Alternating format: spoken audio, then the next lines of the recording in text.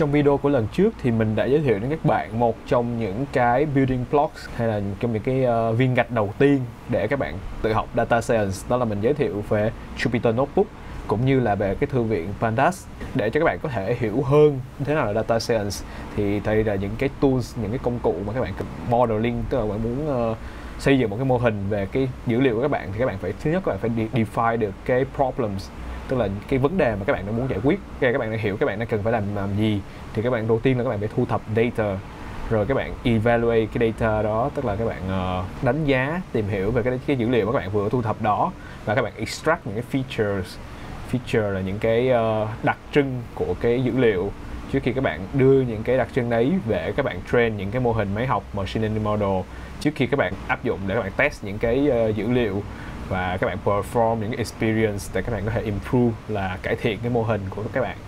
Ngoài pandas ra thì trong tuần này chúng ta sẽ cùng nhau tìm hiểu một cái thư viện cũng khá là quan trọng. Đó là một trong những cái backbone của data science, đó chính là thư viện NumPy. Hay là Numerical Python là một cái thư viện số học của Python.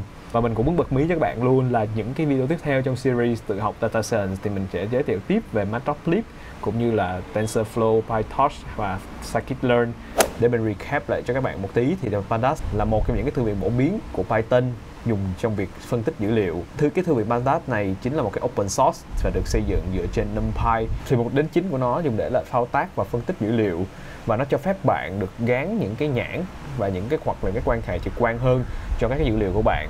Các bạn có thể xử lý các cái tập dữ liệu của các bạn theo dạng chuỗi thời gian những cái bản không đồng nhất hay là những cái mai trừ dữ liệu.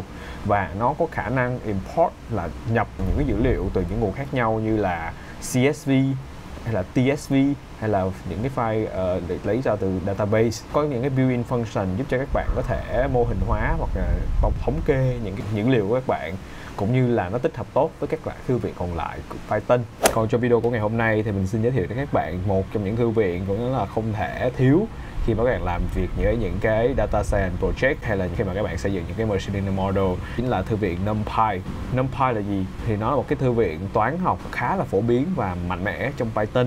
Nó cho phép các bạn làm việc một cách hiệu quả hơn với những cái multi-dimensional arrays, là những cái ma trận hay là những cái mảng đa chiều đặc biệt là những cái dữ liệu ờ, mà thuộc về ma trận và những cái mảng lớn khi mà các bạn sử dụng và làm việc bằng cái thư viện NumPy này thì nó sẽ offer cho các bạn một cái faster operation, là cái tốc độ xử lý nó nhanh hơn, nhiều lần so với cái việc các bạn sử dụng Core Python đơn thuần. Thì để hiểu vì sao mà NumPy lại được sử dụng một cách phổ biến trong các cái project về data science hay là trong khi các bạn xây dựng những cái mô hình máy học machine learning model, các bạn hãy cùng mình đón xem đến hết video của ngày hôm nay, mình sẽ giải thích lý do vì sao, cũng như là mình sẽ giúp cho các bạn master được NumPy Advice chỉ trong một video duy nhất của ngày hôm nay mà thôi. Trước khi bắt đầu thì các bạn cũng đừng quên nhấn nút đăng ký để ủng hộ cho Code Explore cũng như nhấn chuông để nhận những thông báo mới nhất về những video mà Code Explore sẽ cho ra mắt. Và bên cạnh YouTube channel thì mình cũng có một trang GitHub page có tên là Code Explore Repo, là nơi mà mình sẽ tổng hợp cũng như xây dựng những cái project mà mình đang làm thì các bạn hãy vào một thư mục repository. Và nếu các bạn thích thú về data science thì các bạn hãy click vào cái repo data science.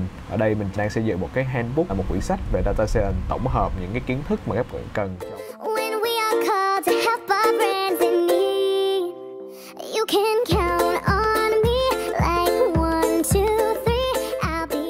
Để bắt đầu thì chúng ta cùng nhau mở Anaconda Navigator, một cái giao diện người dùng của Anaconda cho các phép các bạn access Jupyter Notebook, Spider cũng như là một số cái tool khác. Thì mình thường là mình sẽ mở Jupyter Notebook trong cái uh, Anaconda Navigator này. Các bạn thấy đây là Jupyter Notebook thì các bạn chỉ là bấm nút launch thì nó sẽ launch cho các bạn một cái trang web nó chạy ở localhost và nó sẽ access các cái folder trên máy tính của mình thì mình tạo trên desktop đi bây giờ mình sẽ tạo một cái cái Jupyter Notebook của ngày hôm nay bằng Python 3 và sau đó mình sẽ rename nó lại là, mình sẽ đổi tên là NumPy. Thì như mình đã chia sẻ ở đầu video thì NumPy hay còn được biết đến là một cái numerical Python, một cái, đó là một cái thư viện số học nền tảng của Python. Và thậm chí là những cái pandas, những cái thư viện khác như là pandas, matplotlib hay là stat model hoặc là những cái scientific khác, những cái thư viện khoa học khác nó đều dựa vào numpy nó được viết ra dựa trên cái nền tảng đó là ngôn ngữ C. Khi mà làm việc với những cái array những cái mảng thì Python đã cung cấp cho chúng ta một cái ờ, kiểu dữ liệu đó tên là kiểu dữ liệu list.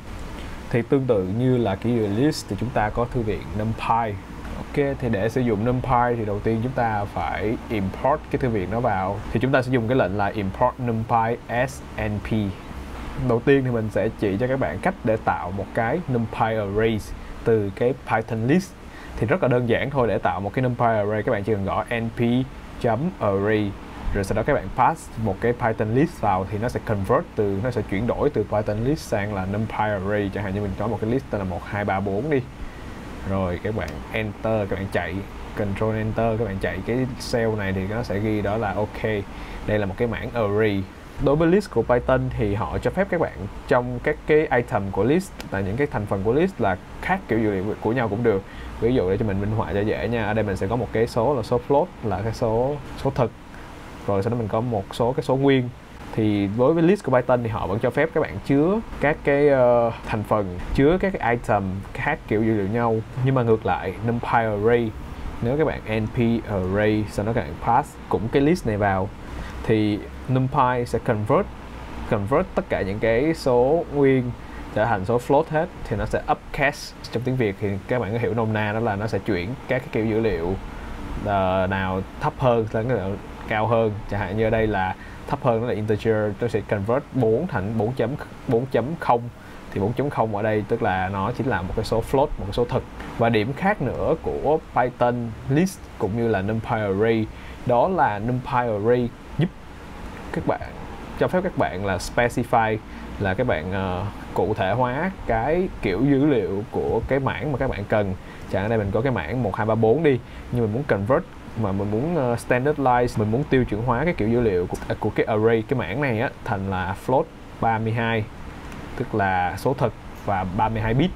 Thì đó sau khi các bạn chỉ cần specify dtype equal float 32 thì cái mảng này đã convert thành là kiểu dữ liệu float 32 bit.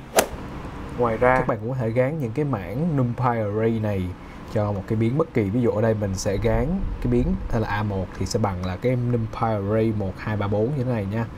Rồi mình chạy thử. Thì Python nó sẽ tự động detect cái uh, kiểu dữ liệu của cái biến A1 này cũng là numpy array. Thì bây giờ mình sẽ bring cái type của cái biến A1 ra nha các bạn.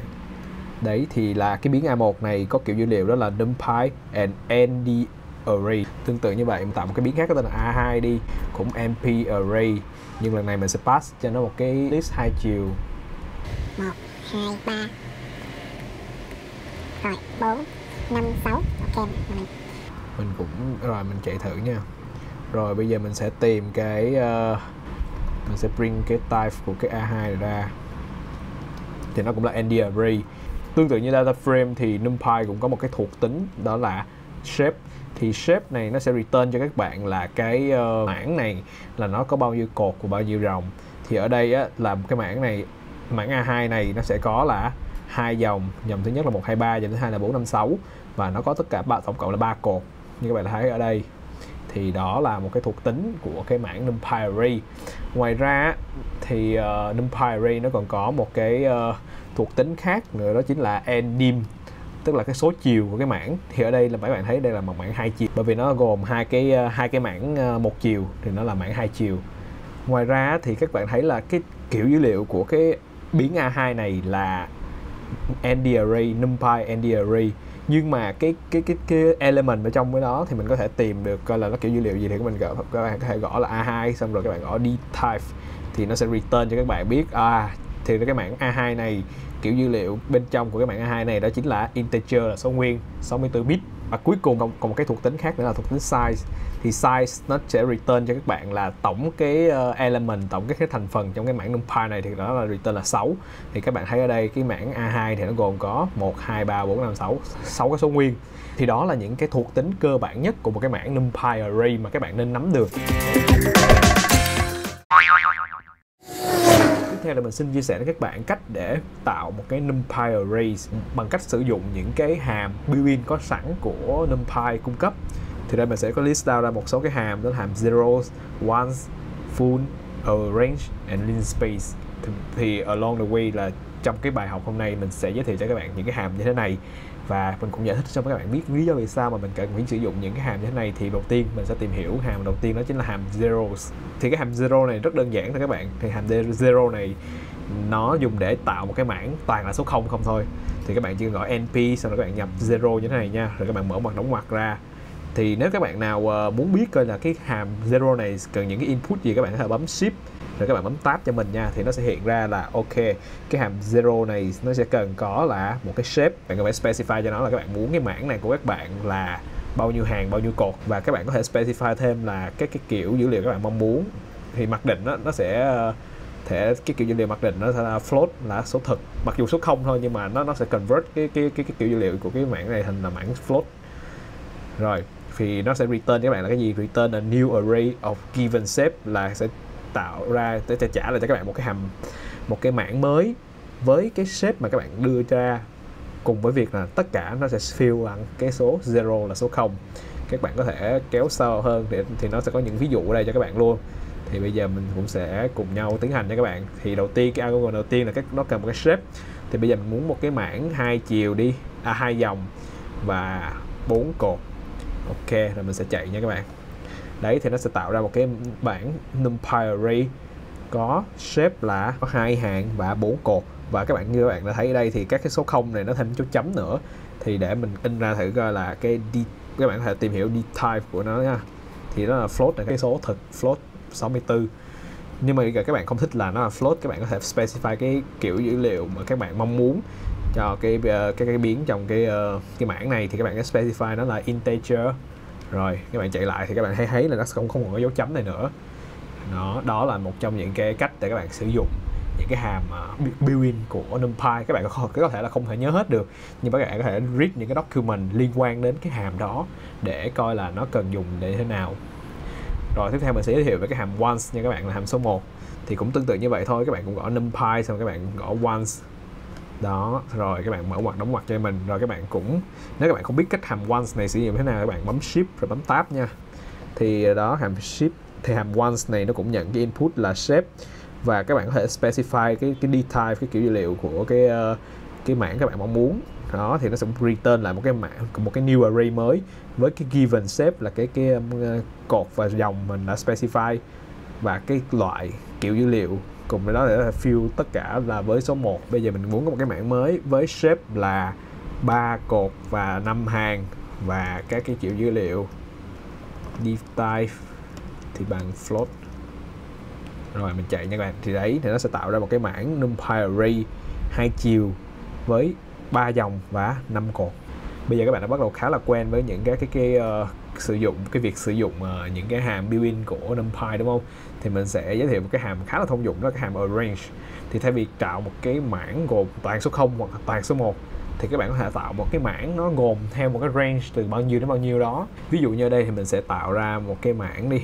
Các bạn cũng gõ num np xong các bạn chấm arrange rồi các bạn muốn thì nó sẽ có là các bạn cũng ship tab cho mình nha để coi coi là cái hàm arrange này nó sẽ nhận input là như thế nào. Thì nó sẽ nhận input là start trước nè là cái điểm bắt đầu ờ, cái điểm stop và cái step là cái uh, step là các bạn muốn cách ra khoảng cách là bao nhiêu. Rồi các bạn cũng có thể specify cái kiểu dữ liệu vô cũng được luôn. Thì bây giờ để ví dụ mình muốn một cái uh, mảng bắt đầu bằng số 0 và kết thúc bằng số 20 và step là 2 và mình in ra thử nha, thì nó sẽ trả lại cho các bạn một cái mảng 0 2 4 6 8 10 thì các bạn thấy không? Thì số 0 với số 2 này nó khoảng cách là 2 2 với 4 cũng tương tự như vậy, khoảng cách cũng là 2 thì đó là cách cách để các bạn sử dụng hàm arrange. Rồi, hàm tiếp theo mình muốn chia sẻ với các bạn đó hàm full. Hàm full tức là nghe tên là full ở đây. Thì nó sẽ tạo ra một cái mảng numpy array và nó fill theo cái ý bạn muốn. Thì để ví dụ cho nó dễ hiểu nha, các bạn cũng gọi np full rồi các bạn muốn muốn muốn biết nó sử dụng thế nào thì các bấm shift và tab cho mình nha thì nó sẽ hiện ra ok cái hàm np dot full này nó cũng nhận đó đầu tiên là shape nè. Rồi cái giá trị các bạn muốn điền vào trong cái mảng này rồi uh, các bạn có thể specify cái kiểu dữ liệu còn nếu không thì nó sẽ mặc định là integer. Rồi bây giờ mình muốn một cái mảng uh, 3 x 5 đi và mình muốn fill nó là ờ, uh, 6.9 này nọ đi ha. Thì thì cái cái 6.9 này là float nên nó sẽ tự hiểu cái mảng này là float cho các bạn ha. Rồi mình chạy nè đấy thì nó sẽ tạo ra một cái mảng 3 x 5 và nó fill toàn là số 690 à 6.9 xin lỗi các bạn. Rồi tiếp theo thì là hàm cuối cùng mình muốn chia sẻ ở đây để tạo ra một cái number array đó chính là hàm lean space. Lean space hay là viết tắt của cái từ là linear space là tạo ra một cái uh, một cái khoảng mà nó rất là tách nhau một cách tuyến tính. Thì để mình tiếp tục ví dụ đưa ra những ví dụ để cho các bạn dễ hình dung thì các bạn cũng gõ nước np cho mình nha xong rồi lin space. Rồi các bạn cũng shift tab để các bạn có thể hiểu đây ok thì nó muốn thì nó họ chỉ cho mình là các bạn có thể specify điểm bắt đầu và cũng như là điểm kết thúc. Thì ở đây mình muốn tạo ra một cái uh, uh, điểm bắt đầu từ 0 và kết thúc ở 1 và mình muốn khoảng cách của nó là 5 thì nó sẽ chia ra trong cái khoảng từ 0 đến 1 và nó sẽ chia đều ra theo khoảng cách là 5 space là 5 thì các bạn sẽ thấy đây thì nó bắt đầu từ 0 0.25 0.5 0.75 và 1.0 thì đó là những cái cách mà để các bạn có thể uh, uh, tạo ra một cái numpy array sử dụng những cái built-in function. Vì sao các bạn sẽ cần những cái cái cái cái, cái hàm như thế này? Tại vì khi mà các bạn uh, tạo ra những cái feature thì các bạn cần sometimes là các thỉnh thoảng các bạn cần phải tạo ra một cái cột nó gọi là placeholder hay something rồi đó thì các bạn một cột toàn là không toàn là một hoặc là toàn là một cái ờ, giá trị nào các bạn muốn thì đây là cái cách mà các bạn tạo những cái cái cột như vậy. Bây giờ mình sẽ tiếp tục giới thiệu cho các bạn một cái hàm khá là quan trọng khác trong numpy đó chính là hàm random. Random hay còn được biết đến đó là ngẫu nhiên đúng không? Thì cái hàm ngẫu nhiên này nó sẽ giúp cho các bạn tạo ra numpy array với những cái ờ, element những cái thành phần ngẫu nhiên tùy theo các bạn uh, specify ok thì để dùng cái hàm random này các bạn cũng np rồi các bạn gõ chữ random cho mình nha. Thì cái hàm random này nó cung cấp cho mình khá là nhiều những cái những option. Thì một trong những option thứ nhất đó là bạn bạn gọi gọi chính một cái random. Để biết được là cái hàm random này sử dụng như thế nào các bạn cũng cần shift tab. Thì các bạn sẽ thấy là ok cái hàm random này nó chỉ cần nhận một cái uh, input đó là size. Size sau đó thì nó sẽ return là gì? Là random float là những cái số thực ngẫu nhiên ở half open interval là từ cái khoảng từ 0 cho đến 1 ok, thì bây giờ mình sẽ specify một cái size cho nó nha các bạn. Thì mình muốn một cái size đó là 4 nhân 4 đi. Rồi mình chạy, thì đó sẽ return cho các bạn là một cái numpy array. Có 4 dòng và 4 cột. Và các cái con số, những cái thành phần trong cái hàm, trong cái numpy array này thì nó đều nằm trong khoảng từ 0 cho đến 1 nhưng mà các bạn để ý nha bây giờ ví dụ như mình sẽ chạy lại cái hàm này đi thêm một lần nữa. Thì các bạn thấy là hai cái lần gọi cái hàm này thì nó sẽ cho ra những cái số ngẫu nhiên khác nhau. Nhưng mà đôi khi ví dụ bây giờ mình mình đang làm ở đây rồi mình muốn mình, mình và các bạn đang làm ở máy của các bạn đúng không? Mình muốn là cái hàm random này nó cho ra những cái số giống nhau giống nhau, mỗi lần mình chạy nó vẫn là cái vẫn là những những cái số ngẫu nhiên này và giống nhau trên máy của mình và trên máy của các bạn. Thì mình sẽ introduce cho các bạn một cái khái niệm mới, đó là khái niệm seed thật ra thì nếu mà các bạn nào rành trong programming rồi thì thật ra là nó cũng không quá là mới. Bạn cũng đã sử dụng qua cái ờ, seed này rồi. Thì để mình chỉ seed ở trong những cái hạt thì nó dùng giúp cho cái việc là reproducibility tức là các bạn gọi cái hàm random này ở trên bất kỳ một cái máy nào khác, thì nó cũng đều ra những con số ngẫu nhiên như nhau như vậy. Thì bây giờ mình để dùng cái seed này, mình chỉ cần random, np.random rồi seed rồi mình sẽ cho seed là bằng bao nhiêu tùy các bạn thôi. Thì nếu mà các bạn muốn ra những cái hàm ngẫu nhiên giống mình á, thì các bạn chọn seed là bằng không, rồi các bạn chạy lại nha. Thì nó sẽ ra là 54 8135 bla bla, vân vân vân mây ví dụ mình ở đây mình gọi lại nè thì nó vẫn ra đúng là cái con số đó thôi. Các bạn thấy không? Mình có chạy rất nhiều lần nữa 34 nè mình chạy một lần nữa 35 nè thì nó vẫn là những cái giá trị ngẫu nhiên này mà thôi. Ngoài ra thì uh, các bạn cũng có thể dùng là np.random rồi chấm normal thì normal thì để cũng để để tìm hiểu ra hàm normal này gì các bạn cho bấm shift và tab cho mình nha. Thì uh, hàm normal này sẽ draw random sample là những cái mẫu ngẫu nhiên từ cái normal distribution là cái Gaussian distribution. Thì uh, đối với cái normal này cũng rất đơn giản các bạn phải specify cho mình. Đầu tiên đó là mình đó là mean. Mean là cái giá trị trung bình rồi standard deviation các bạn muốn là thì cái giá trị hai mình muốn standard deviation deviation của mình là một. Và sau đó size của cái um, empire mình muốn nó là 3 nhân 3 chẳng hạn đi. Rồi mình chạy nha thì đây chính là cái uh, empire có ba hàng ba cột và các cái con số trong này thì nó nằm trong cái Gaussian distribution với mean bằng 0 và standard deviation là cái độ lệch chuẩn bằng 1. Ok, ngoài random, ngoài normal thì ờ, uh, np.random.random nó còn có một cái hàm khác đó là randin tức là random những cái con số integer thì cũng shift tab nha thì nó họ sẽ mention cho mình thì hàm randin này nó sẽ nhận cái giá trị đó là low rồi hai tức là giá trị bạn các bạn muốn random những cái con số nguyên từ bao nhiêu khoảng bao nhiêu đến khoảng bao nhiêu đó và kích thước của cái number array mà các bạn muốn tạo ra. Thì về mặc định á, thì cái hàm này chắc chắn là random tức là nó sẽ return là integer. Thì đây nó sẽ return những những con số random integers là những con số nguyên ngẫu nhiên từ bắt đầu bao gồm từ những cái lâu là khoảng thấp đến khoảng cao. Để mình ví dụ cho các bạn dễ hình dung nha. Thì bây giờ mình muốn tạo ra một cái numpy array mà cái giá trị của nó nằm trong khoảng từ 0 cho đến 10 và cái shape của mình muốn muốn nó là 4 và 5 rồi mình chạy nha các bạn.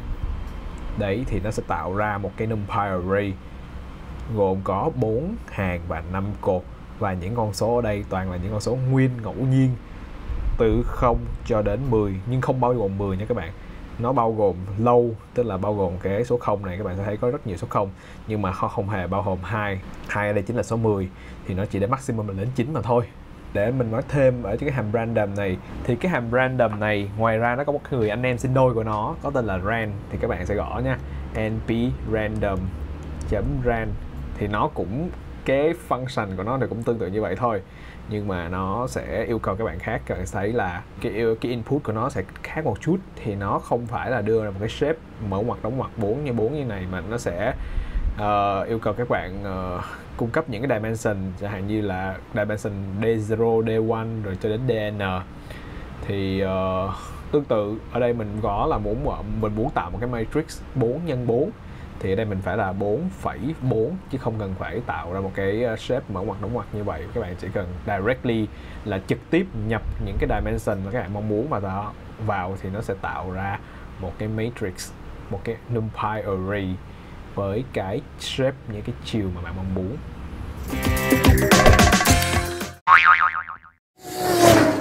Sau khi các bạn đã biết cách để tạo ra một cái numpy array bằng những cái bb function hoặc là những cái hàm random, thì bây giờ mình sẽ chỉ cho các bạn cách để các bạn có thể tiếp cận những cái element, những cái thành phần trong cái numpy array đó, hay gọi là array indexing và slicing.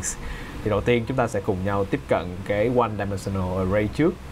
Thì để tiếp cận mình sẽ tạo một cái array mới và mình sẽ dùng cái hàm random rand in thì mình tạo một cái array có bao nhiêu ta size thì bằng là 6 đi. Và nó sẽ contain các cái, nó sẽ chứa những cái giá trị ngẫu nhiên từ 0 cho đến 20 rồi mình chạy nha, mình list cái x1 ra. Thì đây các bạn đã thấy x1 sẽ là một cái array 1D và có 6 thành phần 6 thành phần trong đó. Và tất cả các giá trị này thì nó nằm trong cái range là từ 0 cho đến 20 rồi bây giờ let's say ví dụ như là bây giờ mình muốn tìm mình muốn tiếp cận cái vị trí thứ tư trong cái array này thì ta 0, 1, 2, 3, 4 thì mình chỉ cần gõ là x1 xong mình mổ mặt vuông cái này nha các bạn. Cần mình specify cái index vào index số 4 thì nó sẽ return cho mình là số 1 số 1 đây 0, 1, 2, 3, 4 cái số 1 này chính là cái tương ứng với lại x1 uh, ờ, nằm ở vị trí index số 4 bây giờ tiếp theo mình muốn tiếp tương tự như vậy mình có thể tiếp cận với lại cái vị trí đầu. Thì vị trí đầu chính là x1 0 thì mà các bạn thấy là nó sẽ return là cái đầu x14 là 1 x10 là vị trí đầu tiên là chính là số 4 và nếu mà các bạn muốn tiếp cận cái vị trí cuối cùng trong cái numpy array này thì trong Python như mình đã chỉ trong cái bài list thì đó chính là cái vị trí cuối cùng tương ứng với lại là số trừ 1 ở đây nha cái các bạn specify cái index trừ 1 thì nó sẽ return cái giá trị cuối cùng trong cái array này đó chính là số 7 Tương tự như vậy, đối với multi-dimensional array thì các bạn cũng có thể dùng cái cách indexing này để access những cái element trong cái mảng đa chiều hơn. Ví dụ như mình có một cái multi-array mới là x2 thì bằng np.random brand in. Mình cũng dùng một cái hàm brand in luôn nha, cho nó đơn giản nha các bạn. Rồi mình muốn các cái giá trị này nằm trong khoảng từ 0 đến 10 và cái size mình mong muốn đó chính là 3 x 4 ok rand in. Rồi, bây giờ mình sẽ chạy cái hàm x2 ra nha các bạn. Ok x2 thì bây giờ nó là một cái hàm, một nó đã return ra một cái numpy array hai chiều. Có chiều, có row là 3 và column là 4 và cái giá trị nằm trong khoảng từ 0 cho đến 10 mà không bao gồm số 10 nha các bạn rồi bây giờ ví dụ mình muốn access cái element uh, số 0 này đi thì làm sao để mình có thể access được? Thì cũng đơn giản thôi các bạn cũng x2 rồi các bạn mở ngoặc đóng ngoặc cho mình thế này. Nhưng mà đây là mảng hai chiều nên các bạn phải specify cả column lẫn row. Cái index đầu tiên ấy là nó chỉ về hàng. Thì hàng ở đây chính là một tại vì không một. Rồi index thứ hai nó sẽ là nói về cột thì cũng cột cũng tương tự như vậy nó cũng bắt đầu từ 0 cột số 0 cột số 1 và cột số 2 nên khi các bạn specify cái index uh, thứ hai ở đây là 2 thì các bạn sẽ access được cái giá trị 0 trong cái numpy array x2 này. Đấy thì nó return lại là 2 ngoài ra các bạn không chỉ access không các bạn có thể là uh, thay đổi giá trị của nó. Ví dụ bây giờ không tính nó bằng 0 mà các bạn muốn x2 này các bạn thay đổi nó bằng 6 đi. Rồi các bạn chạy lại con x2 thì các bạn sẽ thấy tại cái vị trí uh, hàng số 1 và cột số 2 thì cái giá trị nó là được update lên là là 6 tiếp theo thì mình sẽ giới thiệu cho bạn thêm một cái concept nữa rất là quan trọng trong quá trình các bạn làm việc với numpy array đó chính là slicing. Là các bạn sẽ cắt cái numpy array của các bạn ra. Thì cách để cắt rất đơn giản thôi các bạn cũng giống như là indexing. Hồi nãy các bạn cũng phải mở mặt vuông cho mình nha. Nhưng mà thay vì hồi nãy các bạn specify các cái index thì bây giờ các bạn sẽ specify cho mình cái khoảng các bạn muốn cắt. Thì nó cũng cần là start ở đâu và stop ở đâu thì các bạn specify cho mình cái điểm đầu là điểm bắt đầu các bạn muốn cắt và cái điểm kết thúc điểm stop mà các bạn muốn uh, ngừng. Quay trở lại bây giờ mình sẽ dùng lại cái uh, array x1 hồi nãy chúng ta cùng tạo ra. Thì bây giờ mình muốn là mình cắt mình muốn cắt ba cái ký tự đầu tiên 4 9 10 này ra nha. Thì các bạn các bạn làm sao? Tất đơn giản thôi các bạn cũng gõ cho mình x1 xong rồi các bạn mở ngoặc vuông như thế này nha. Rồi các bạn specify khoảng đầu là không rồi khoảng cuối tại vì các bạn muốn lấy ba cái ký từ đầu các bạn phải lấy là 0 1 2 và 3 nó không include cái điểm stop nên là nó lấy đến index số 2 chỉ là số 10 nó hơi một, hơi confused một chút nhưng mà các bạn sẽ thấy rất là dễ hiểu thôi thì là đấy các bạn chỉ muốn lấy ba cái giá trị đầu tiên thì các bạn phải specify đến cái số 1 này tại vì nó sẽ không include cái số 1 này đâu nha các bạn. Tương tự như vậy các bạn muốn lấy cái cái giá trị chẳng hạn như 10 với 10 với 1 đi. 10 với 1 đúng không? Thì các bạn cũng specify cho mình cái khoảng các bạn muốn cắt thôi. Thì uh, ở đây là 0 1 2 thì là số 10 nằm ở index số 2 rồi các bạn hai chấm cho mình nha. Rồi các bạn muốn lấy thêm số 1 đúng không? 3, 4 thì các bạn phải lấy thêm số 4 tới số 4 từ 2 đến 4 thì nó sẽ return là 10 và 1 là cái cách để các bạn cắt ở khúc giữa của cái array này và ngoài ra các bạn muốn cách cách một cách một cái mà nó cách nhau cứ hai step hai step thì các bạn hãy specify cho mình như thế này. Thì cái điểm đầu điểm cuối bạn không quan tâm nhưng các bạn specify thêm một cái hai chấm nữa rồi bạn specify cho mình cái step là bằng hai. Rồi các bạn chạy nha. Thì các bạn sẽ thấy là 4 nè xong rồi nó cách ra. 9 nó không lấy lấy số 10 xong rồi một nó không lấy nó lấy số 1 này. Và đây 7 rồi nó lấy số tiếp theo nhưng mà tại vì cái array của mình đã kết thúc rồi nên là cái hàm nó return cho mình là 4, 10 và 1 thì đó là cách để các bạn slicing một cái 1D array. How about uh, slicing hai 2D array như chẳng hạn như cái hàm xi này? Thì các bạn uh, cũng tương tự như vậy thôi. Nó chỉ khác ở chỗ là thay vì các bạn specify dimension ở đây thì các bạn phải slicing hai cái dimension luôn. Thì bây giờ mình có một cái requirement đi ví dụ mình muốn slicing hai cái cột đầu và hai cái dòng đầu và ba cái cột đầu tiên thì các bạn phải làm sao? Thì bây đầu cái cái cái cái vị trí đầu tiên chiếc dấu phẩy này nó chính là để spoil to grow là nói về hàng thì nếu các bạn muốn lấy hai cột đầu thì các bạn chỉ cần hai chấm rồi các bạn đến số 2 cho mình nha rồi các bạn muốn lấy ba cái cột đầu tiên này thì các bạn cũng hai chấm rồi các bạn ba thôi rồi các bạn chạy lại nha thì các bạn thấy không là nó sẽ return cho các bạn một cái sub array numpy array mà ở đó thì nó include cho mình là ba cái cột đầu tiên với của hai cái dòng đầu tiên bây giờ các bạn không muốn lấy kiểu như vậy nữa các bạn muốn lấy toàn bộ hai cái dòng đầu tiên đi thì các bạn làm sao? Cũng đơn giản thôi. Hai cái dòng đầu tiên tức là cái row các bạn không quan tâm các bạn kia để hai chấm như thế này thì nó sẽ include hết toàn bộ hai cái dòng đầu tiên. Và ngoài ra các bạn muốn lấy hai cột đầu tiên. Thì uh, hai cột đầu tiên thì các bạn uh, cũng chỉ chấm hai chấm như thế này thôi. Thì nó sẽ return cho các bạn là toàn bộ hai cái cột đầu tiên 975 thấy không các bạn? 929 đó thì nó sẽ return cho các bạn hai cái cột đầu tiên. Một cái khái niệm này nó khá là một chút chiều tượng một chút nhưng mà khi các bạn làm làm việc along the way với lại array slicing với list slicing thì các bạn thấy là à, cái này nó cũng không quá gì phức tạp. Thì cái này nó cần phải practice nhiều hơn. Tiếp theo thì mình sẽ chỉ cho các bạn về reshaping một cái array cũng như là transpose. Reshaping tức là các bạn sẽ chuyển đổi cái shape của cái current cái cái numpy array hiện tại của bạn sang một cái hình dạng khác. Ok thì để ví dụ cho các bạn dễ hiểu bây giờ mình sẽ có một cái np arrange. Rồi mình sẽ tạo ra một cái ờ, array có range là từ 1 cho đến 10 đấy và mình sẽ gắn cho nó một cái gọi là grid đi. Đấy grid. Rồi hiện tại để mình coi cái grid chấm shape là shape của nó là gì nha. Thì đó là một cái uh, row là một cái array number array mà nó có chín hàng rồi bây giờ mình muốn reshape cái thằng grid này lại là à, một cái ma trận 3 x 3 thì rất đơn giản các bạn cũng chỉ cần gọi grid sau các bạn gọi chữ reshape nha đó là một cái method một cái hàm. Rồi các bạn sẽ specify cho mình cái shape mà các bạn mong muốn re, nó reshape thì các bạn ở đây mình mong muốn đó là một cái matrix 3 x 3 thì ten ten ten ten cái grid của mình đã được reshape thành một cái ma trận 3 x 3 ok để mình ví dụ thêm một cái này cho các bạn dễ hiểu nha. Bây giờ mình sẽ có một cái x thì bằng một cái numpy array và numpy array này mình sẽ mention là 2 3 1 2 3 rồi mình sẽ gọi except đi. Nó là một cái column vector tại vì nó có ba ba dòng ba dòng và nó chỉ có một cột mà thôi. Bây giờ mình muốn reshape nó lại thành là một cái row vector row bằng 1 và column bằng 3 thì mình đã reshape nó lại thành vào một cái row vector. Rồi bây giờ mình sẽ gõ lại shape của thằng này. Thì đó bây giờ cái x reshape này đó là là bằng một cái uh, row vector có một row và ba column. Đó là những cái cách để các bạn có thể reshape bây giờ mình sẽ chuyển sang là uh, tạo một cái uh, bây giờ mình sẽ tiếp tục tiếp cho các bạn về transpose. Transpose thì cũng tương tự như reshape nhưng mà transpose á reshape các bạn có thể reshape là thành các cái hình dạng cái cái shape khác nhau các cái ma trận khác nhau theo ý của các bạn. Còn đối với transpose thì các bạn sẽ convert từ cột thành hàng và hàng thành cột. Ok thì lại ví dụ cho các bạn dễ hiểu nha. Bây giờ mình sẽ có một cái biến x mới đi. Thì x mới này sẽ bằng là một cái numpy array. Mình sẽ in ra nhé.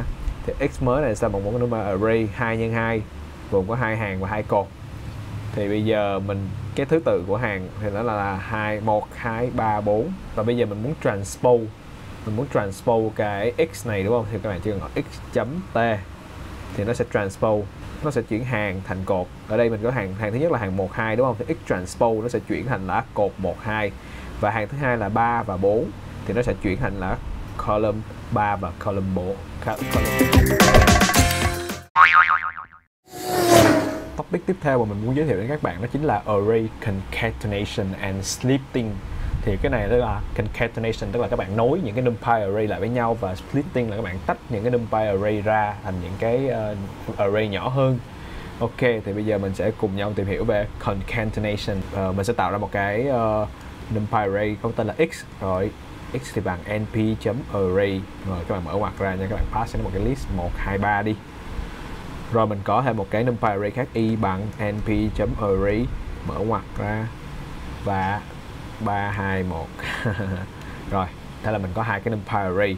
Bây giờ mình muốn concatenate, tức là mình muốn nối hai cái array này lại với nhau thì rất đơn giản các bạn nha. Các bạn chỉ cần gõ np.concatenate đó, rồi các bạn nhập cho mình x và y vào thì nó sẽ numpy cái hàm concatenate của numpy này. Nó sẽ giúp nối hai cái hàm, hai cái array x và y lại thành là một cái array integer scalar ok thì mình mình mình mình có gì đó sai mình bấm shift tab nha các bạn. Tức là các bạn sẽ phải bỏ những cái uh, cái array cái numpy array trong cái ngoặc tròn này nha. Rồi các bạn hãy specify cái exit là các bạn các bạn muốn nối theo row hay là column thì về mặc định đó, thì exit bằng không tức là nó sẽ nối theo theo hàng. Còn exit bằng một thì nó sẽ nối theo cột. Ok thì đầu tiên mình sẽ cứ để dùng chế độ mặc định trước đi mình sẽ mở ngoặc phẩy y rồi mình chạy lại thì ở đây nó đã tạo ra một cái numpy array mới bằng cả mà ở đó thì nó sẽ nối hai cái array x và y lại với nhau. Rồi, tiếp theo mình sẽ có thêm một ví dụ mới đi, về mảng hai chiều đi cho các bạn dễ hình dung hơn. Mình sẽ đặt read thì bằng np.array rồi, vì do mảng hai chiều nên mình sẽ có hai cái dòng dòng thứ nhất là một, hai, ba. Và dòng thứ hai là 4 5 và 6 ok mình chạy nha. Rồi mình sẽ chạy cái read này ra nè. Ok thì đây là read. Read rồi read là một cái mảng 2 nhân 3 bây giờ mình muốn nối hai cái read này lại với nhau. Mình muốn nối read và read lại với nhau thì làm sao các bạn cũng đơn giản thôi nha. Np concatenate. Rồi các bạn mở ngoặc ra thêm một ngoặc nữa nha. Các bạn muốn nối hai cái read lại với nhau. Rồi mình chạy thử nha. Oh, ok read hai cái read này là được concatenate lại với nhau. Thì là cái read đầu tiên sau đó rồi đến cái thứ hai nó sẽ được nối theo cái chiều trục row này. Bây giờ mình không muốn nói theo trục row mình muốn nói theo cái column đi thì mình cũng sẽ np concatenate nhưng mình sẽ, sẽ specify axis bằng một. Rồi mình chạy lại nha thì các bạn sẽ thấy là hai cái grid này đã được nối với nhau theo theo hướng của axis bằng một tức là theo hướng column. Thì đây mình sẽ chú thích lại là axis bằng không by default tức là cái hàm cái hàm uh, concatenate của numpy về mặc định thì nó sẽ nối theo chiều ngang. Và khi đã nhắc đến về nối theo chiều ngang hoặc nối theo chiều dọc thì numpy nó còn cung cấp cho các bạn một cái hàm nó gọi là vstack tức là vertical stack vstack nha bạn. Nó cung cấp cho bạn cái hàm vstack này thì cái vstack này nó sẽ nó sẽ rõ ràng hơn là bạn muốn nối theo chiều ngang hay chiều dọc. Ok mình lại ví dụ tiếp.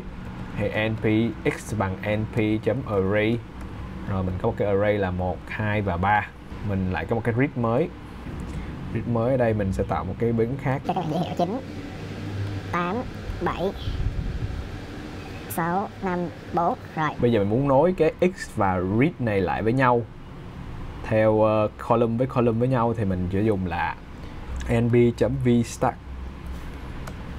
rồi các bạn mention mở ngoặc ra x và read thì bây giờ cái hàm x và grid đã được nối với nhau theo dạng là column column với nhau, nó gọi là vertical stack. Đã có vertical stack rồi thì chúng ta sẽ chắc chắn có horizontal stack, hay còn được viết tắt là hex stack.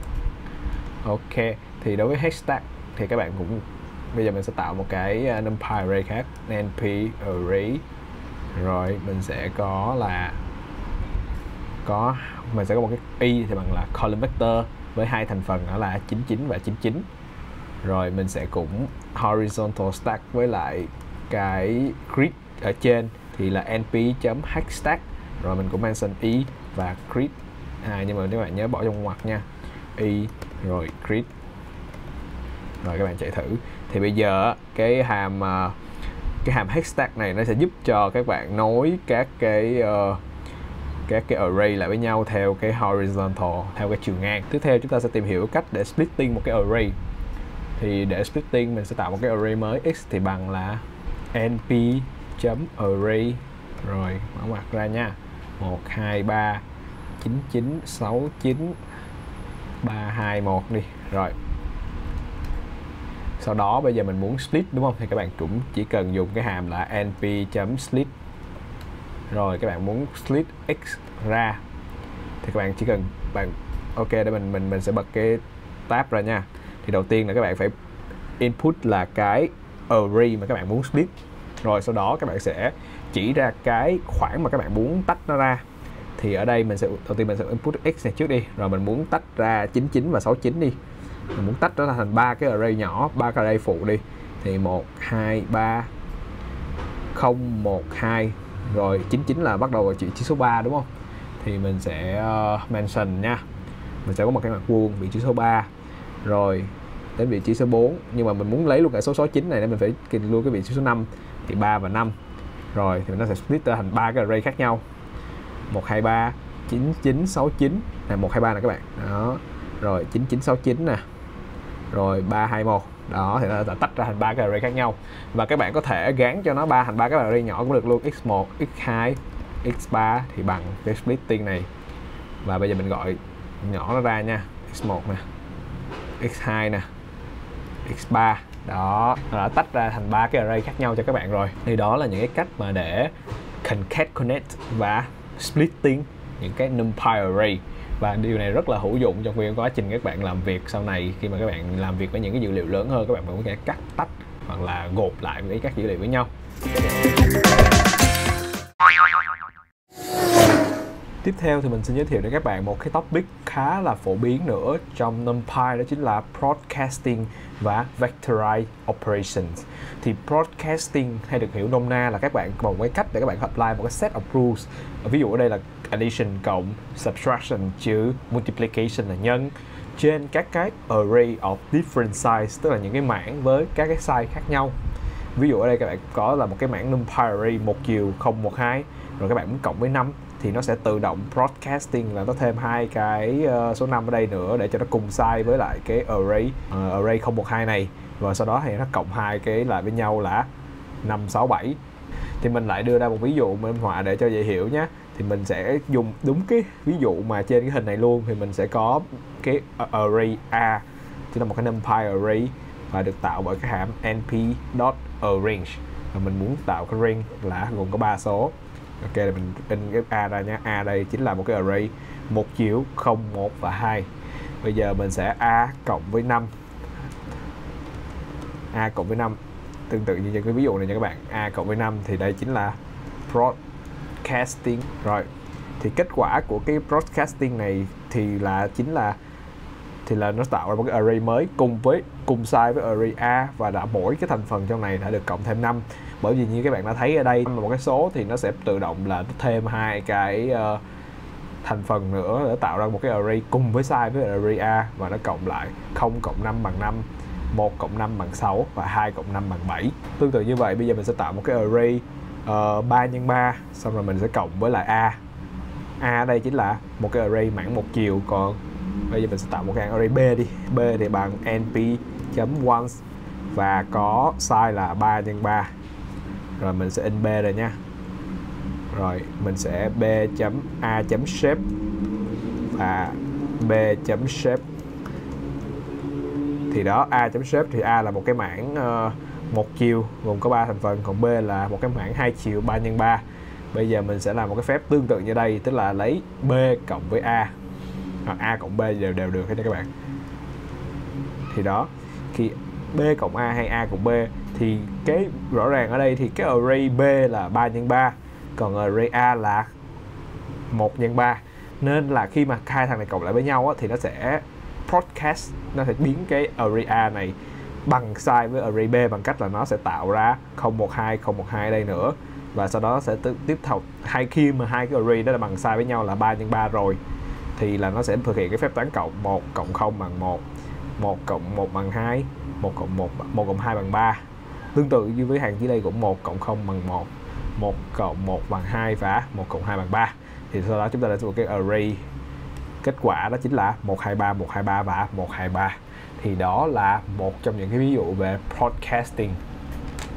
Các bạn cũng có thể làm một cái phép toán nhân cũng được nữa. Thì các bạn lấy a nhân cho b. Thì a nhân b thì a nhân b thì cũng tương tự thôi. Nó cũng sẽ nhân từng thành phần. Một đầu tiên nó sẽ broadcasting cái array a thêm hai cái array con nữa để cho nó cùng size với array b. Xong rồi nó sẽ thực hiện cái phép đó là phép uh, phép nhân thì lấy một nhân không bằng không. Rồi 1 nhân 1 bằng 1 và 1 nhân 2 bằng 2 và kết quả là 012 ở đây nha các bạn.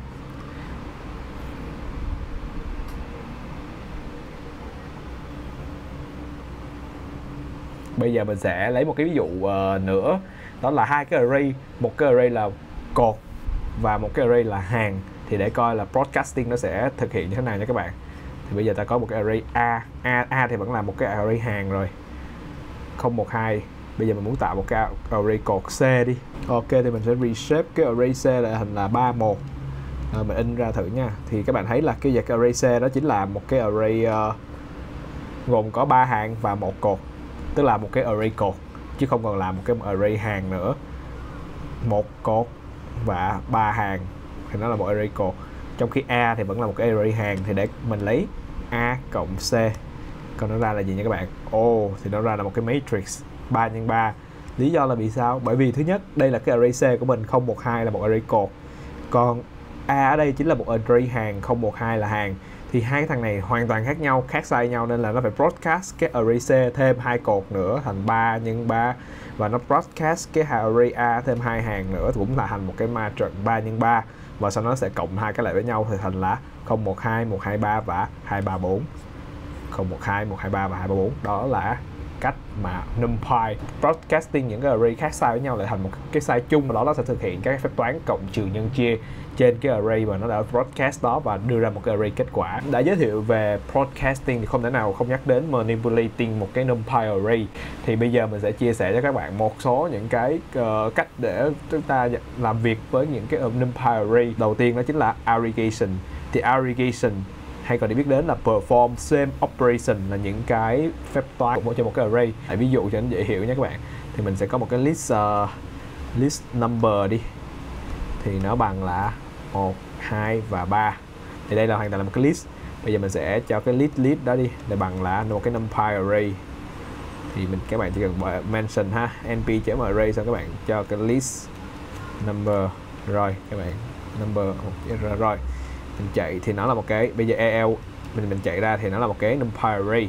Thì numpy array này á, các bạn có thể cộng tổng của cái numpy array lại là bằng 6 thì cái hàm sum á, hàm sum này á, chính là một cái hàm của Python nha các bạn chứ không phải là Python sum, chứ không phải là của numpy nha. Còn nếu mà các bạn muốn dùng của numpy thì rất đơn giản thôi. Các bạn dùng np.sum rồi các bạn cũng ll thì nó sẽ tính tổng ra là 6 tức là lấy 1 cộng 2 cộng 3 bằng 6 tương tự với sum thôi, thì nhưng mà cái này là numpy sum. Thì tại sao mình lại giới thiệu cho các bạn hai cái method này? Tại vì á là cái method thứ hai, tức là dùng cái hàm sum của numpy, thì nó sẽ giúp cho các bạn tính toán một cách nó nhanh chóng hơn so với lại cái built-in sum của Python. Ngay từ ban đầu của video này mình đã có một cái lời hứa với các bạn là mình sẽ chỉ cho các bạn thấy được là vì sao các bạn cần phải dùng NumPy trong quá trình các bạn xây dựng những cái mô hình máy học. Rồi, nó khá là dài dòng rồi, bây giờ mình sẽ create, mình sẽ tạo mình sẽ create là mình sẽ tạo một cái massive numpy array, tức là một cái array rất là lớn. Thì mình sẽ có là massive array. Thì bằng là np random, mình sẽ dùng hàm random nha các bạn, xong mình random. Mình sẽ tạo một cái array có size là 10.000 10.000 là một con số cực kỳ lớn luôn các bạn. Rồi bây giờ mình sẽ chạy ờ, mình sẽ in thử ờ, năm thành phần đầu tiên của cái numpy array này nhá ra nhá thì đây đây là năm số đầu tiên của numpy array mà cái size của nó là các bạn sẽ biết là, ok, size của massive array đi. Chính là 10 ngàn các bạn. Oops. sorry các bạn. Massive array chấm size. Đó, thì cái size của nó chính là 10 ngàn. Hãy chấm shape đi. Thì shape nó là một, nó là một cái vector, một chiều với độ dài là 10 ngàn. Rồi. Bây giờ mình sẽ tính mình muốn tính tổng các cái thành phần trong cái vector này. Nó tương tự như cái cái sum ở trên cái list này thôi nó cũng là một cái vector đó. Nhưng mà list này chỉ có ba ba số trong khi cái master array này nó đến là 10.000 số lượng. Thì mình sẽ tính tổng của nó thì mình sum massive array. Rồi mình cũng dùng luôn np chấm sum massive array. Để so sánh coi là hai cái hàm này hàm nào sẽ uh, tính toán nhanh hơn thì các bạn sẽ dùng cho mình là cái hàm uh, time it tức là percentage time it. Đây là một cái magic trong uh, Jupyter Notebook. Thì khi mà các bạn uh, gọi cái uh, percent dấu dấu phần trăm này xong các bạn gõ time it thì cái này nó sẽ return cho các bạn là cái thời gian mà các bạn cần dùng để tính toán cái operation này. Thì trong cái trường hợp này đó là các bạn sẽ dùng cái hàm sum đó là một cái hàm Python là một cái hàm của Python Python built-in function sum. Thì cái cái cái operation ở đây chính là một cái hàm sum của Python. Nó tính tổng 10.000 cái số trong cái array có tên là maxi array. Còn cái thứ hai thì mình cũng tính luôn, mình muốn tính thời gian thực hiện cái hàm thứ hai đó là time it np.sum này. Thì cái hàm np.sum này chính là một cái numpy.sum array của NumPy rồi, mình sẽ chạy nha các bạn, để coi là cái hàm nào thì nó sẽ tính toán nhanh hơn và hàm nào tính toán chậm hơn. Trên cùng một cái phép toán ở đây chính là một cái phép toán cộng tổng 10.000 số của một cái array. Ok, thì nó đã nhảy ra kết quả đầu tiên của cái hàm sum.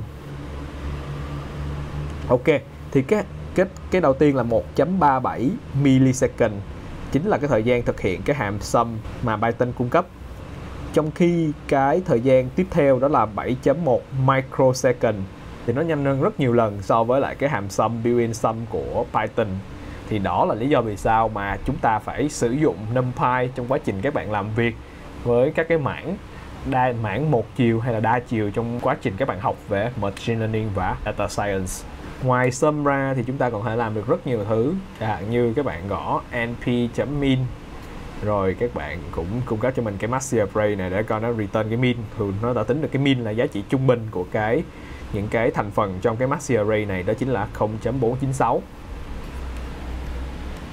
và chúng ta cũng có thể tìm cái hàm giá trị max trong cái massive array này coi là max của nó là bao nhiêu nha các bạn.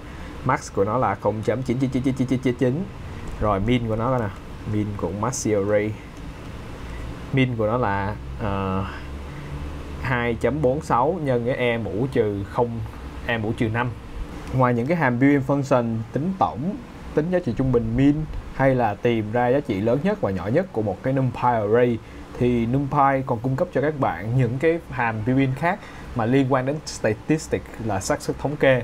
Và nhân tiện đây, hôm nay mình sẽ giới thiệu đến các bạn một trong những cái khái niệm mà cơ bản nhất trong statistics là xác suất thống kê mà các bạn cần phải biết khi các bạn làm việc với uh, data science là khoa học dữ liệu cũng như là machine learning là máy học nó chính là standard deviation tức là độ lệch chuẩn và variance là phương sai. Thì standard deviation tức là gì? Là một cái measure of how spread out number are. Hay còn được hiểu một theo một cách khác đó chính là cái thước đo cái độ phân tán của cái dữ liệu của các bạn. Độ phân tán ở đây là nó so với lại cái mean là cái giá trị trung bình. Còn variance variance là average of square difference from the mean tức là square difference là nó sẽ lấy từng cái point dữ liệu một. Nó, nó trừ đi cho giá trị trung bình và nó square lên nó bình phương lên. Sau đó nó tính average là nó tính trung bình của những cái square difference đó với nhau. Thì uh, trong NumPy nó sẽ cung cấp những cái hàm để tính như vậy bằng cách là np.std tức là standard deviation cũng như là np.var tức là np.variance là phương sai.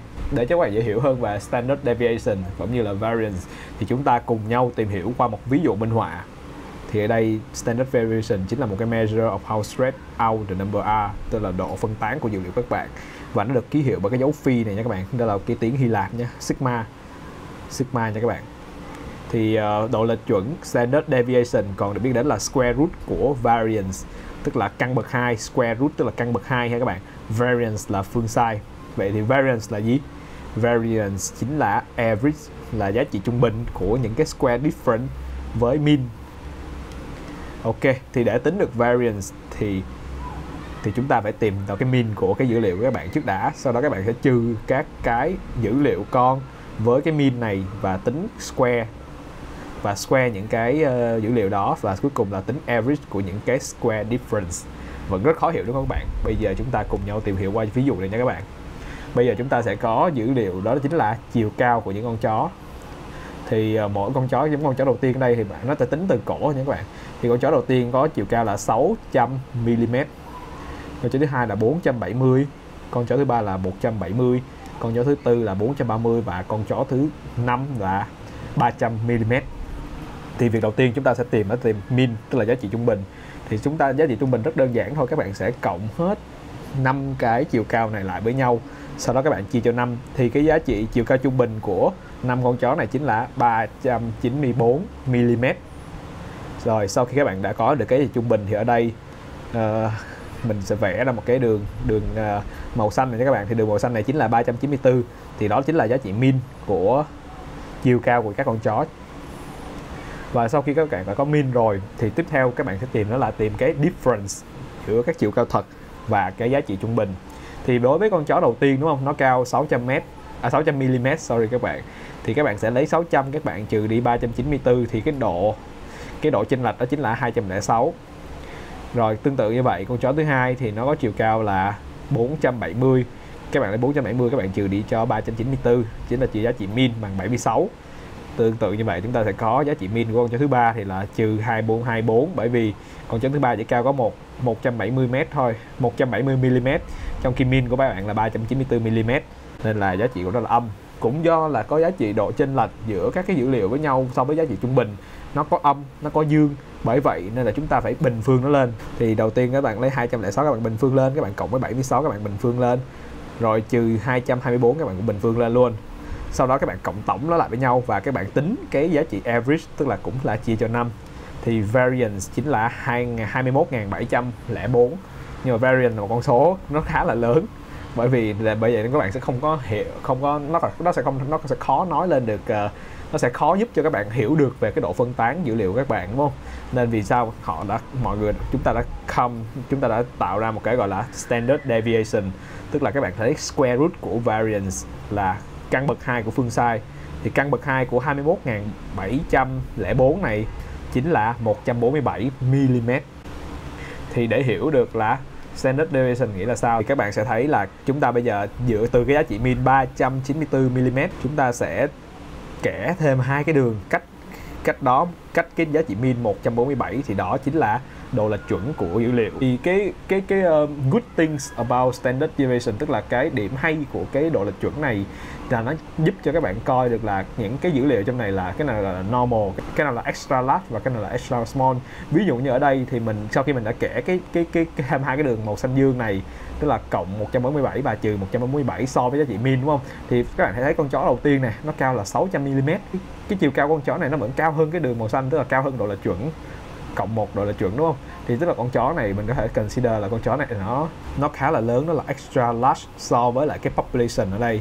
Population ở đây thì cái độ trung bình chiều cao trung bình của population population này chỉ là 394 mm mà thôi, trong khi con chó này nó cao đến 600 mm nên mình có thể dựa theo những cái cái ờ, chỉ số về statistics là về xác suất thống kê thì mình có thể nói được rằng, nói được liền rằng à con chó này nó lớn hơn so với lại ờ, cái phần còn lại của dữ liệu của các bạn.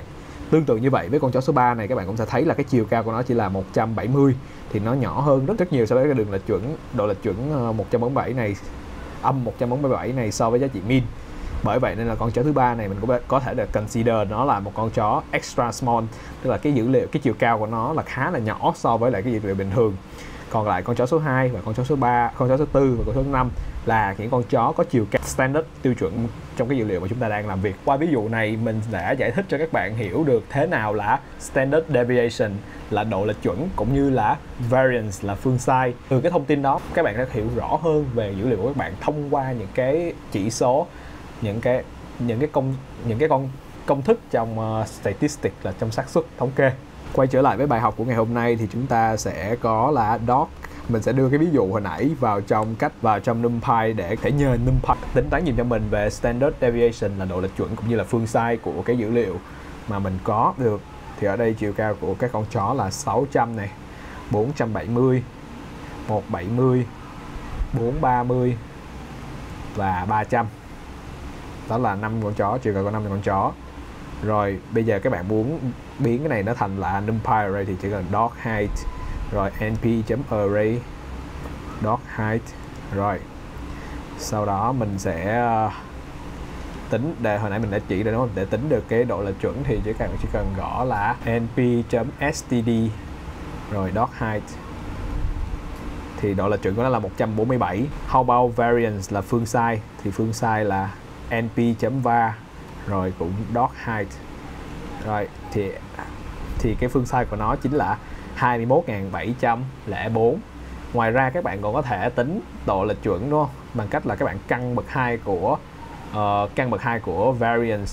Thì căn bậc 2 trong uh, trong numpy đó chính là np.square at rồi các bạn bỏ cái cách bỏ cái công thức tính variance vào nha thì các bạn thấy ở đây chính là bằng 147 tương tự như với lại np.standard dot height. Thì đó là cái cách mà numpy giúp cho các bạn tính được standard deviation là độ lệch chuẩn cũng như là variance là phương sai. Chỉ trong vòng có 1-2 giây, thay vì các bạn phải perform những cái phép toán. Thì ví dụ hồi nãy giúp cho các bạn có thể hiểu được à độ lệch chuẩn và phương sai được tính như thế nào theo công thức còn bây giờ khi mà mình có những cái sự trợ giúp của như những cái những cái module như NumPy này thì các bạn chỉ cần gõ các cái lệnh và nó sẽ ra được kết quả ngay lập tức cho các bạn.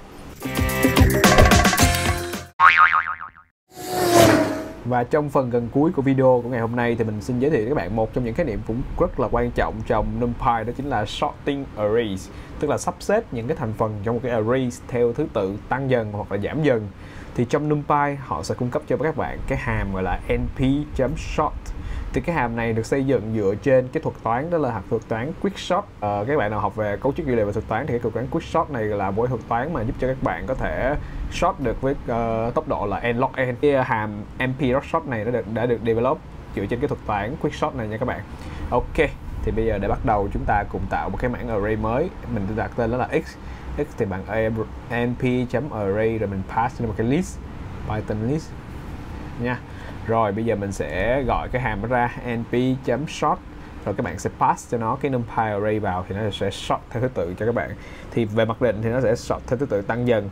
Thì ở đây mình có 2 1 4 3 5 thì sau khi mình dùng hàm np.sort thì là cái Ờ, array nó sẽ chuyển thành là 1 2 3 4 5 ngoài cái hàm sort là sẽ nó sẽ sort nó sẽ sắp xếp lại cái thành phần trong cái quán x. Thì trong numpy nó sẽ cung cấp cho các bạn một cái hàm đó là hàm ờ, uh, np chấm a là argument rồi sort nha các bạn.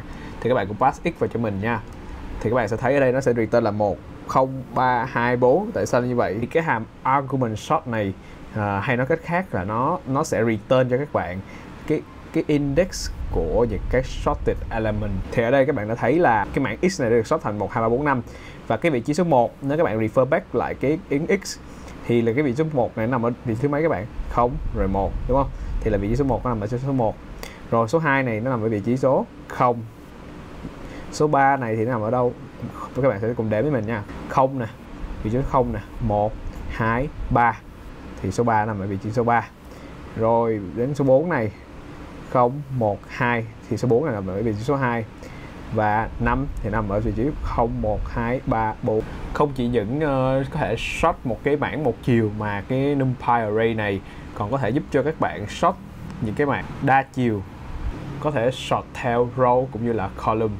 Thì bây giờ mình sẽ tạo một cái ờ, bảng đa chiều nha các bạn. Np.random.sit 42 lý do mình muốn đặt sit này để vì là mình uh, mình muốn là các bạn và cùng bạn mình cùng nhau ờ, sẽ tạo được một cái cái ma trận ngẫu nhiên và giống nhau. Thì bây giờ mình sẽ đặt nó là mat a đi matrix a đi. Np random branding rồi mình sẽ shift tab. Thì đây low hai size ok. Thì mình muốn là nó là từ số 0 đến số 10 và size là bằng ờ, uh, 4 và 6 rồi mình đóng mặt là mình chạy thử nha. Mình chạy là mắt của mắt A đấy thì đây là cái hàm matrix A. Và đây chính là cái cái thành phần. Mình muốn sort cái matrix A này theo column tức là cái column đầu tiên nè 6 2 7 5 thì nó sẽ sort lại là 2 5 6 7 thì rất đơn giản đấy các bạn ạ. À. các bạn cũng dùng hàm mp.sort nha. Nhưng mà this time thì các bạn phải specify là các bạn muốn sort, sort column hay là row.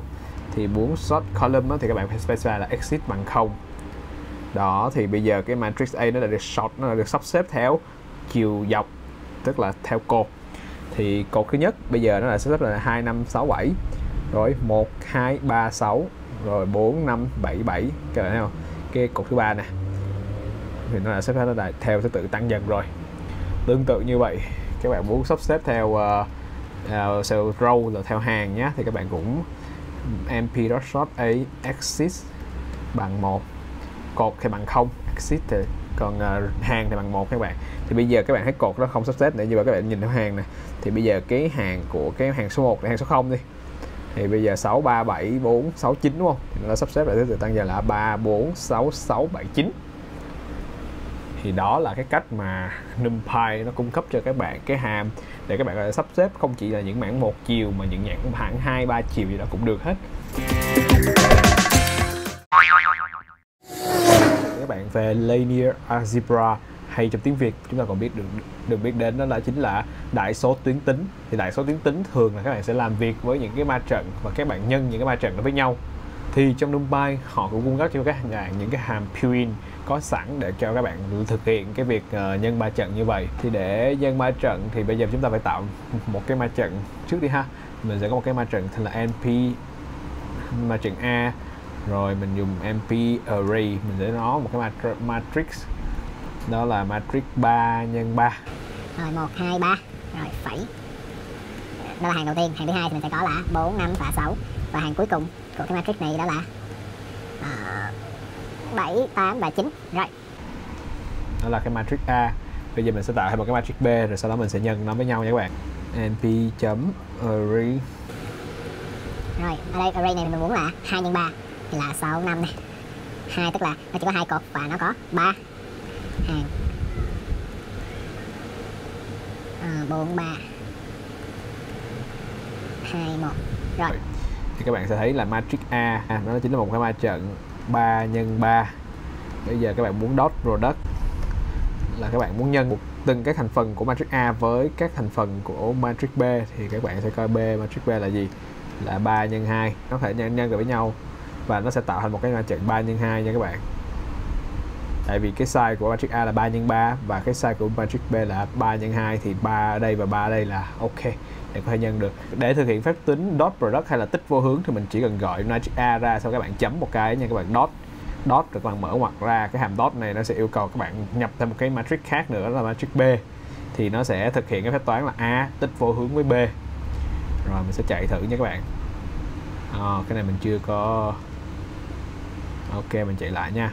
Rồi thì đây đây chính là cái tích vô hướng giữa matrix A và matrix B đó các bạn. Để làm sao để ra được cái matrix này, các bạn sẽ thấy là cái cái hàng đầu tiên của matrix A là 123 rồi nó nhân với lại cái cột đầu tiên của matrix B là 642 ok, mình sẽ giải thích vì sao có cái số 20 này nha các bạn. Thì mình sẽ lấy 1 nè. Mình nhân cho 6 cộng với lại 2 nhân cho 4 1 nhân cho 6 cộng với 2 nhân cho 4 cộng với 3 nhân cho 2 tức là cái hàng đầu tiên của matrix A nó sẽ nhân với lại cột đầu tiên của matrix B thì 2 nhân 4 cộng với lại 3 nhân 2 nó là, chính là số 20 của trong cái tích vô hướng của A dot B. A tích vô hướng với B. Thì tương tự như vậy, số 14 này chính là cột số 2 và hàng số 0 đúng không? Thì các bạn lại lấy 123 này các bạn nhân với lại 531 123 nhân 531 thì các bạn sẽ ra được số 14 này. Ok, ngoài ra trong NumPy các bạn muốn dot product các bạn có thể dùng A, rồi các bạn A cộng B thì kết quả nó cũng tương tự như là a chấm dot b. Đó là hai cách để các bạn có thể ờ, nhân tích vô hướng. Rồi, bây giờ các bạn muốn lấy matrix b matrix b mà các bạn muốn dot với a thì coi được không nha? Để mình mình mình so nè.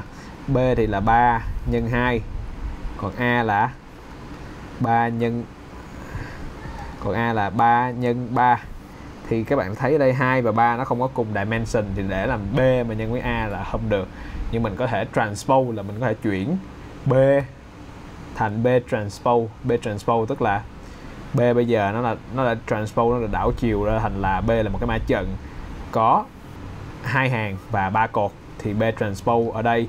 Cái dimension của nó là 2 nhân 3 thì hoàn toàn nó có thể dot được với a, tại vì a đây là 3 nhân 3 thì hai cái số 3 đây là các bạn thấy không? 3 của b và 3 của a. Đó, hai cái này bằng nhau, bằng cùng cùng cùng cái chiều nhau nên là nhân được nên là bây giờ mình có thể dot product được nhé rồi các bạn có thể dùng là b chấm t. Rồi các bạn a cộng với a. Đây thì nó là một cái tích product dot product của cái b transpose là b đảo chiều tích vô hướng với a. Và đây là kết quả để cho các bạn có thể uh, nôm na hiểu vì sao mà các bạn có cần phải biết về tích vô hướng. Thì mình sẽ có một cái example về dot product là một cái ví dụ về dot product ha thì uh, bây giờ mình sẽ có một cái gọi là number number of jar sold tức là số những cái uh, hũ được bán ra. Mình sẽ tạo một cái uh, hàm ngẫu nhiên. Thì để làm hàm ngẫu nhiên mà các bạn cùng cùng mình có tạo ra được một cái ma trận giống nhau thì các bạn phải dùng cái sheet này nha. Thì các bạn chỉ cần gọi np.random.sheet.0 và mở ngoặc ra không như vậy. Thì uh, khi mà các bạn generate một cái hàm ngẫu một cái mảng ngẫu nhiên nào đó thì bên các bạn và bên mình đều ra một cái giống nhau thì mình sẽ có một cái uh, mảng numpy array có tên là cell amount cell amount rồi mình sẽ dùng cái hàm là np chấm random. Rồi randin rồi mình muốn là trong cái khoảng từ 0 đến 20 và size là ờ, uh, 53 một cái ma trận uh, hai chiều. Bây giờ mình sẽ gọi cell mouse ra nha thì chắc chắn là các bạn cũng sẽ dùng có một cái ma trận giống mình như vậy, ha. Thì nó là gồm các cái son số 2 12 năm. 5 nhân 3 tức là ba cột. 5 hàng và ba cột. Rồi, bây giờ mình sẽ tạo một cái data frame. Có tên là weekly weekly cell data frame. Thì weekly underscore cell. Rồi, để tạo ra frame thì các bạn còn nhớ không? Dùng bên dùng là mình import panda spd rồi ở đây pd thì mình sẽ gọi cái hàm data frame ra. Thì nó sẽ tạo ra một cái data frame. Thì cái data frame này nó sẽ dựa theo cái cell amount numpy array mình vừa tạo ra. Nhưng bây giờ mình sẽ cung cấp cho nó thêm một số cái index. Index tức là cái uh, mỗi cái hàng ở đây thì mình muốn cho nó một cái index. Đây là chính là hàng số 1 hàng số 0 này nè. Thì mình muốn nó là ngắn với lại thứ hai à, thứ hai thứ ba thứ tư gì đó các bạn. Thì nó Monday. Rồi hàng số 2 là 337 thì mình sẽ gán cho nó. Cái index đó là Tuesday là thứ ba. Rồi Wednesday Thursday Friday. Ok. Rồi. Columns thì mình muốn đặt là cái cột đầu tiên là nó bán về almond butter đi. Almond butter. Rồi cái cột số 2 cột này nha thì là sẽ bán là peanut butter bơ hạnh nhân. Peanut butter. Và cái hàng thứ ba là cashew butter là bán bơ các bạn thì cái hũ bơ được bán ra nha. Cashew. Butter. Rồi mình chạy thử nha để tạo mình tạo ra một cái data frame mình sẽ gọi là weekly sale. Đấy thì bây giờ mình sẽ có một cái data frame. Data frame thì nó sẽ có cái cột và hàng để được đã được uh, dán nhãn thì cái hàng đầu tiên đó là Monday 12 15 0 Tuesday 337 thứ tư bán được 9 19 18 Thursday bán được 4 6 12 cho các cái loại bơ ở đây nha là tương tự như vậy. Thì mình mỗi cái cột như vậy thì mình đã tương ứng với lại một cái loại bơ mà mình muốn bán. Sau đó là những cái hũ hũ bơ mà mình được bán ra một trong các ngày trong tuần. Rồi bây giờ mình sẽ uh, tạo một cái gọi là cái giá giá của những cái cái món hàng, giá của những cái hũ này nha. Giống như một hũ ờ, almond butter là bao nhiêu tiền? Một hũ peanut butter bao nhiêu tiền? Một hũ cashew butter bao nhiêu tiền nha? Rồi mình sẽ tạo một cái numpy array có tên là giá nha các bạn. Create a price array. Rồi, prices bằng np.array rồi, mình mở ngoặc ra. Mình cung cấp almond butter mình cho là 10 đi. Peanut butter mình cho là 8 cashew mình cho là 12 đô. Ok, bây giờ mình có một cái numpy array có tên là price và nó có chứa cái giá của almond, peanut và cashew butter. Bây giờ mình sẽ biến nó thành data frame nha các bạn. Mình sẽ gọi là butter price là giá của những cái hũ butter này. Rồi mình pd.data frame. Rồi mình sẽ cung cấp cái numpy array vào, sau đó mình sẽ dán nhãn. Thì cái index tại vì đây mình chỉ có muốn là một cái cột, thì mình sẽ có là price, mình cũng đặt tên nó là price. Rồi rồi còn có các các columns. Column thì mình muốn uh, dán cho nó tương tự như vậy nha các bạn.